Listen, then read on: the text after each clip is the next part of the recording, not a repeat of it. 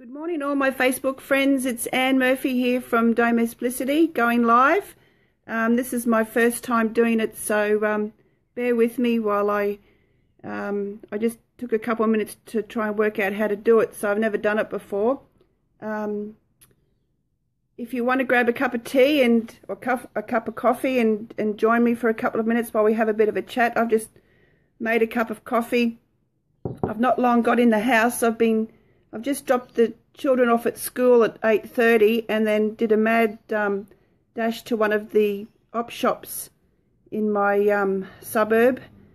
Um, and then Spotlight, which is like um, the equivalent of Joann's or Michael's in America. But um, it's book week here in Australia and that always means a last minute um, dash to try and get costumes done for the children. This year, my son is going as Ash Ketchum from Pokemon, which he did last year, and he just wears clothes from his wardrobe, so that's easy to do. But my daughter has um, always tried to um, find really obscure book characters or cartoon characters, so it makes my job really difficult. But before I tell you about that, I just wanted to tell you a little bit about me.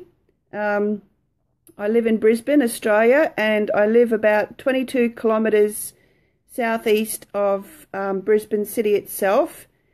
And we live in a pretty nice part of Brisbane. It's close to um, the sea, or not really the ocean, but um, near the water anyway. So we um, get a beautiful sea breeze in the summer, so it's always a couple degrees cooler than Brisbane itself. I'm married to Damien, um, who's still here at home. He's got to race out and do a small job for his work um, today, but then I'm going to be batching it for the rest of the week or for a couple of days this week because he has to go interstate for work. So, um, as much as I'll miss him, it'll be nice and quiet. Um, I've got two children, as most of you might know. I've got a 12 year old daughter and a 10 year old son. They'll both be um, 13 and 11 in November this year. And my daughter's at high school. Um, I've got two sisters. A sister who's a year and eight days younger than me. She lives in um, she she lives about two hours north of Brisbane married with two children. I don't get to see her very much. And then I've got a another sister who's four years younger than me, and um, she lives in the family home that um, when Mum passed away, she she took over the house. So she she lives where I grew up in Brisbane, and she's a nurse at the Royal Brisbane Hospital and works really hard and is single and yeah, she's pretty good. I don't get to see her very much either, but anyway, um, yeah, so this week is book week, and it's a great initiative, I think, for children to um, increase their love of books and um, celebrate the joy of reading. And my kids are both avid readers, but like I said with my daughter, I remember her first year of school, she wanted to go as Dorothy from A Wizard of Oz, and she. I managed to have some blue and white gingham fabric in the stash and um, in the fabric stash, and I whipped her up a a Dorothy dress, and she went off as that. But then it just got more obscure and more obscure. The next year, she wanted to go as a winter fairy welcoming spring, so that was a little bit out there. And then it's just got worse. So this year, she wants to go as Domo. So just got the rubbish rubbish truck being collected, uh, rubbish being collected. Noisy.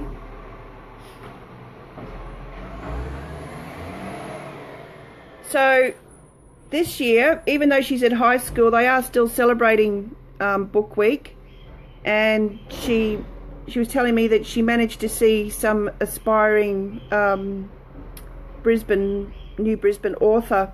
I can't remember the woman's name, but her book was is called Night. One of her famous books is called Night Swimming, but I just can't remember the author's name. And she got to meet her in school last week. So um, my daughter's always she's very clever. She's always writing her own stories and drawing her own illustrations and things like that.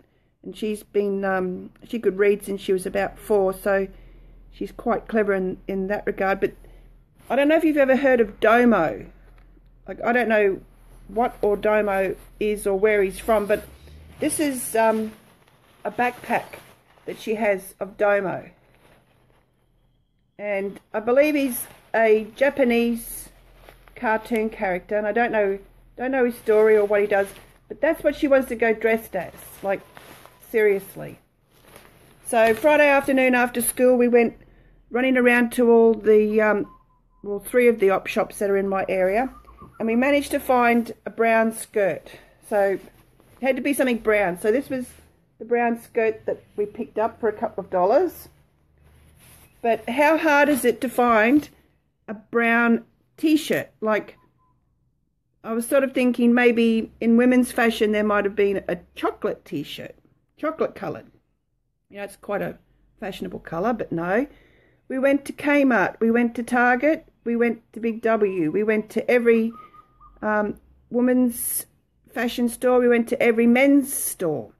And this morning, like I said, after I dropped the kids off, I went to um, the last of the op shops in our area, and no, there wasn't anything. Pardon me for coughing. I've still got a bad cough after um, the um, bad cold that I had a couple of weeks ago. So I'm just having a sip of coffee. So my last resort was Spotlight, and it was so packed this morning I couldn't even get a car park. Everyone was at Spotlight this morning, so it seemed. So there was every possible shade of brown fabric. I was going to make her some kind of just plain t-shirt. And no, I couldn't find any um, shade of brown that look, resembled anything like this. So I've resorted to good old um, fabric dye. And because she does have a plain white t-shirt in her cupboard. That's now in the washing machine with the load of whites that I didn't get round to doing on Saturday. Wednesday and Saturday are my washing days. Um, I do wash other days if I need to, but I try and stick to those two days of the week um, because it's just a routine that I've got into and I um, try to make sure that the washing's folded on those days. I don't, on my washing days, I don't try to plan too much else because I, I hate ha not having the washing folded, so I don't want to put too much pressure on myself. So I'm about to um, try and dye this white t-shirt for her because of course tomorrow is her book week parade and um, like anything with her it's always the last minute and it's always changing her mind. So that's what we're here for. We're here to please. So I'll try my hardest to please her and get this brown t-shirt dyed for her uh, as far as the rest of the day goes I've got to be mindful of the time because I've once I finish this, I've got to jump in the shower and um, get up to my son's school and take him to an appointment, a specialist doctor's appointment. Then come back, um, probably have some lunch, and then it won't be long to, um, until I have to go and pick them up from school again. And like I said, the rest of the week will be quiet because the children will go to their fathers tonight. Um, and my husband will be away for a couple of days this week, so it'll just be me and the dogs. If you don't know it, I'm a dog lover. I have two dogs. One little mini foxy called Bonnie, and she's 16 and she'll be 17 in January. And as much as she's sort of getting a bit old and can't get up and down the stairs or, um, you know, feels the cold weather with her, her arthritis and everything, she comes alive at night time and uh, races around the house and pretends she's a puppy. So as long as she keeps doing that, i will be happy because it'll be a sad, sad day when she goes. She's been a big part of my life. And then we've also got Willie, and he's a miniature pinscher, and he's um, 14 years old. And he's a pretty cool guy. He just sort of moseys around and he loves roast chicken and any food basically. So he's a little bit overweight. We've got two birds. We've got two cockatiels, Pebbles and Bam Bam. And cockatiels are, a really, um, really cool bird. They're in an aviary and um, I've got to tell you, my husband, he's pretty tall and skinny and he can get in this in and out this aviary door um, pretty quickly to feed them. And I thought I'd bought them some new bird toys, so I thought, oh, I'll be right. I'll be able to get into in and out of the aviary really quickly. Well, I kind of squeezed in, and little Pebble, she got, um, hey Claire, how are you? Um, Claire's my friend in Tasmania, and um, her and I have known each other. I don't know, Claire, how long? About six or seven years. Amelia actually asked me the other day how long we'd known each other. We're sort of like online dating friends, but we have met each other in person. But we talk every day. She's a she's a mad foodie like me, and um, she's actually just started up her own um, blog again and uh, Facebook page. You should check her out. It's called Taz Food Stories. Nine years, serious. Oh my god, are we having an anniversary for the tenth year? so um, yeah, Taz Food Stories, and she's going to be, or she has been reviewing a lot of um, really cool foodie places and cafes and restaurants in and around um, Hobart. So if you travel down to Hobart or you are in Tasmania, no worries. Um, if you are in Hobart, you'll um, find her Facebook page good value to um, find out some really cool reviews. She's an excellent cook and an excellent baker as well. But like most of us, we Chocolate, cheese, and wine as well. Exactly. Exactly.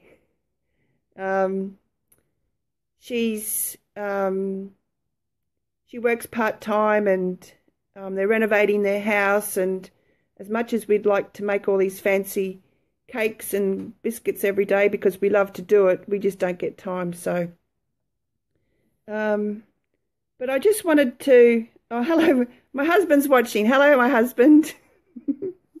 He's downstairs. Make me another coffee. Hello, husband. Um, yeah, so um, before I, I go into a lot of home hints and recipes and um, cooking and uh, just saving money tips, I don't want to um, overburden you with my, my first Facebook Live episode. Hey, Terry Ann, how are you? Hope you enjoyed your trip in Tasmania. I saw you were down there. Um, we Terry Ann, I know from a, a craft weekend workshop that we went to, and we've been meaning to catch up for ages. She's way over on the north side of town, so one of these days we'll catch up again. Um, yeah, so what I, I don't want to overburden you with a whole lot of information today or anything. That's why I want to sort of make this a regular thing every Monday, just to tell you a little bit of um, my life and how the things that I do might help you to save money or just to be more efficient in the home. Um, I wanted to tell you a little bit about my theory on saving money and, and what I do. Um, I don't save money. Like when I think about saving, it's not like I, oh, great, Terry Ann. Yeah, definitely. We'll catch up soon. There's got to be some sort of craft workshop coming up that we we need um, to get to. We'll make time for it. Yeah, so saving money. Um, I stick to a budget. I don't have it written down or anything like that. I just know the same amount comes out each fortnight for my mortgage and my bills and everything like that. But I don't have a huge um, goal to pay off any debts. I don't have any debts other than my mor mortgage, which is manageable. Um, and I don't aim to save hundreds or thousands of dollars each year. I don't have savings goals. But what I do is just try and cut back on the spending in the the normal household expenses. So if I can cut back on, say, groceries, I will. I, I don't want to sacrifice the type of food we're eating. Like we we all love food except my fussy daughter, but that's another story. Um, I like cooking. I love baking. I love eating nice tasting food. So I won't. Um, I'll try and find ways of of making do with basic ingredients. I usually only buy home brand um, ingredients. I shop at Coles. I've been shopping at the same Coles supermarket in my suburb. I know where everything is. I just keep a well-stocked pantry so that we can eat whatever we like whenever we like, uh, just with the food that my family eats. And I cut back on other areas of spending. So if you think of, just think of a couple of things like hairdressing, you know, I can't remember. Well, the last time I went to the hairdressers was for my wedding, and that cost some ridiculous amount of money. But I, I know it, um, it needed to be done with my hair and makeup. I'm not one to wear makeup, but um, I dye my own hair. You know, for the cost of twelve dollars for my hair color, I buy that when it's on special. Or I've always cut the children's hair. My ex-husband, he um, shaves my um, son, gives my son a number two with the clippers, and then I might trim my daughter's hair. But she had a haircut the other day. There's hairdressing. There's um, you know making your own uh, home, you know, making your own cleaners for for your house, or buying home brand washing detergent. You know they're they're all little things that you can um, cut back on. And the reason why I do cut back on a lot of those things, or you know, finding these op shop things for my daughter's book week costume or my or making do with things like that. It's just an area that where you can save save money on that that type of um, outlay so that you have got money for other things. Like I've just purchased this morning um, tickets for Australia Zoo. Australia Zoo is um, on the Sunshine Coast. Um, where Steve Irwin set up the the zoo, um, and it's a really cool place. But we haven't been there for a lot of years, and there's children are coming on to into school holidays in a couple of weeks' time. So uh, it cost me about $146. If you're looking for cheap, um, hi Mimi, how are you? Um, if you're looking for cheap tickets for Australia Zoo, there's 10% off with the Groupon vouchers. That's G R O U P O N dot com. Um, Groupon. I don't know if it's dot .com or .com.au, but uh, it cost about $150 for four tickets, and that was a good deal. So yeah, things like that. Um, my husband and I like to go away um, to the beach often. Um, you know, I like French perfume. I like um, I like lots of things, but I guess if I'm not spending money, well, then the money's just sitting there in the bank. And then when we do feel like doing something, well, we can go and do it. Or instead of buying takeaway meals, I'd rather spend $10 on, say, some crumb chicken and frozen chips from the supermarket instead of spending $50 at Hungry Jack's or McDonald's. So that's that's some of the things that I do um, to spend money, uh, to save money. My, I'm having a um, office makeover at the moment. I've sort of got this area downstairs that I've just been making do with my. We've found an old desk or an old table really um, that I've been using for in my office space, but I want it to be an office space. Pardon me, just have another sip of coffee. Um, I wanted it to be an office space and a craft space. So my husband built me a custom made desk or table just on the weekend. He's got to finish painting it today. So when that's finished, I'll, I'll um, show you that. But it's not costing us anything. So, you know, we could have gone and gone to Ikea or any of the furniture stores and, um,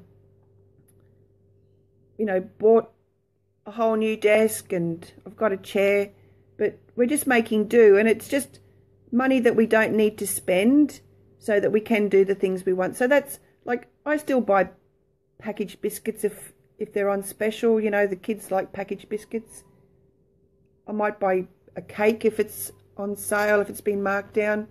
So I'm not this person that swears by everything being homemade or made from scratch and, you know, growing your own fruit and vegetables. It's just not worth me doing it, you know, for the time and effort that I would spend growing my own vegetables just to save a bit of money because my daughter doesn't eat it. My son's a bit fussy when it comes to vegetables. My husband and I eat all sorts of vegetables, but you know, if I buy two zucchinis and two capsicum and two kilos of potatoes per fortnight and some frozen vegetables, that's going to be sufficient enough for us instead of me growing a whole heap of, say, zucchinis and then no one eats it. So that's just um, some of the, the, the things that we do here.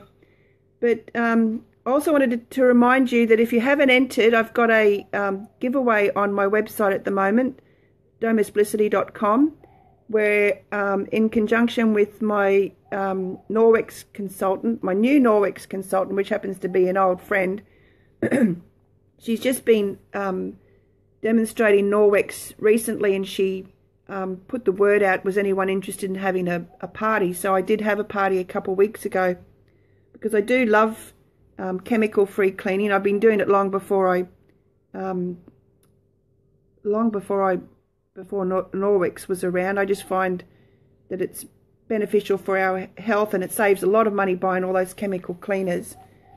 So I had this party and then we just got talking about it and I thought, well, before we got talking, I said to Nikki um, that I was planning on doing a spring clean. I hadn't done a full spring clean of my house for a couple of years now. So um, for the entire month of September, I'm going to be popping in and out with posts on Facebook or Instagram on spring cleaning my house. And I'm really lucky, lucky I guess being the operative word, that the children will be on holidays, school holidays throughout um, September. So they'll be able to help me. So I don't know if it will really help me or whether it will be causing me more grief. But anyway, getting back to the, um, getting back to the, pardon me for coughing.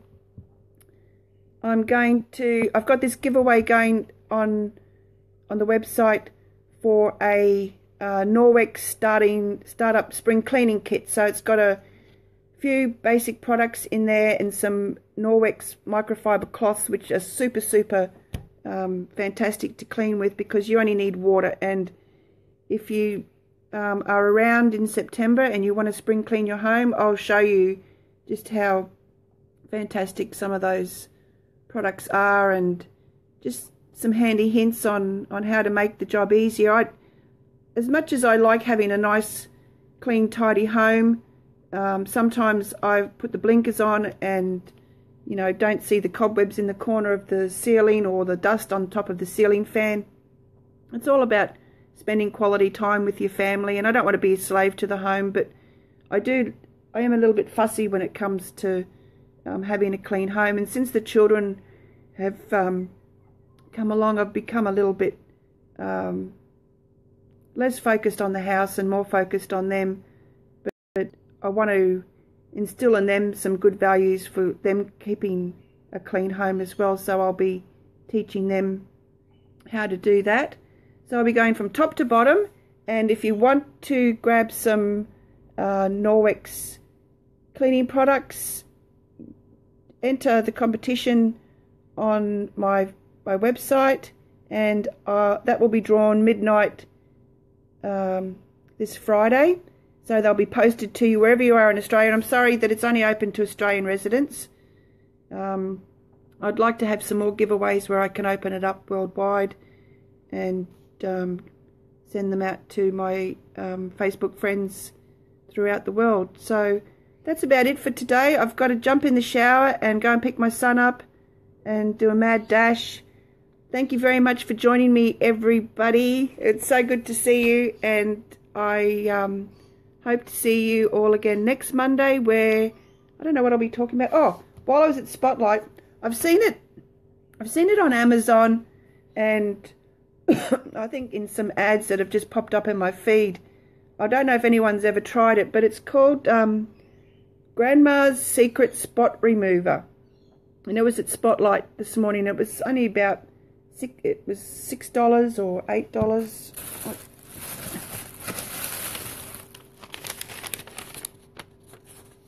Eight dollars. I don't know if any of you have um, children who paint at school. When they were young, at least they could wear a smock or an old t-shirt. Well, now that my daughter's too cool for school, for high school, she loves art and she loves painting, but they don't wear smocks or um, anything to protect their clothes. And her clothes are covered in paint, her school uniform. And I've tried methylated spirits, I've tried rubbing alcohol, I've tried uh, fingernail polish remover, uh, just all of the the uh, recommendations that I've found on um, on the internet when I googled. But when I saw this, it claims to um,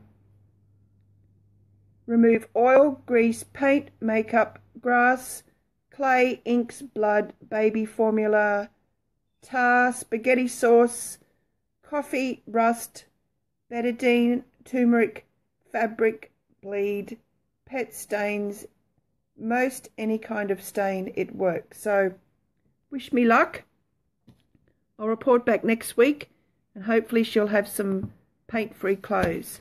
And wish me luck on getting this t-shirt, white t-shirt dyed with brown dye and hopefully I won't have any um, fabric dye anywhere else except where it should be.